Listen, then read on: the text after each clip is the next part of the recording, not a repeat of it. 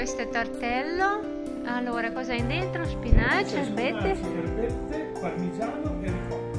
Eh, che pieno! Questo è tortello zucca. Zucca, patate e salsiccia. Mm. In questo qui invece c'è radicchio, gorgonzola e speck. Va bene. Perché io ho notato che in tutte le città c'è qualcosa specializzato. Certo. Italia è proprio così.